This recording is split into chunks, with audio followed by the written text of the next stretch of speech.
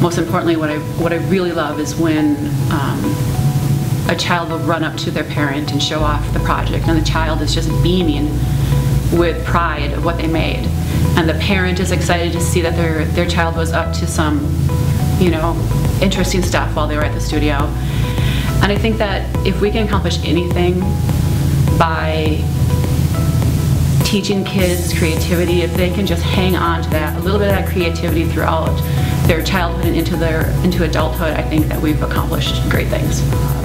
Probably the most fun we have at the studio is when we do what we call messy time, which the kids get to have a little break from their project and we we make silly putty, we play with shaving cream, we do all the great messy stuff that kids love to do that moms don't particularly care to have done in their kitchen because it's so messy.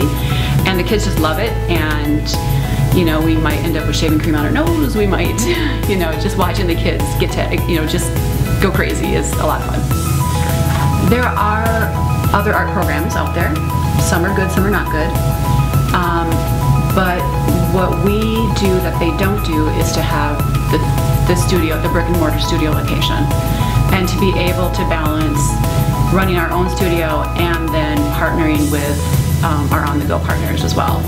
So we're able to create a synergy between the studio locations and the other locations. We can market to a, a, a broader range of customers. Year after year, we're seeing gains. Year after year, you know, 20%, 15%. I mean, we're seeing really strong years. Even, you know, this location's been open eight years, and we're still consistently seeing those increase in, in revenue. And the reason is, is because you can always pick up the phone and call another daycare or call another community ed program. And there's so many, so many potential on-the-go customers out there that it far um, greatly exceeds the your customer base at the studio. That if you're feeling like you need more business, pick up the phone, find that business. It's not a matter of just sitting back and waiting for customers to come to you.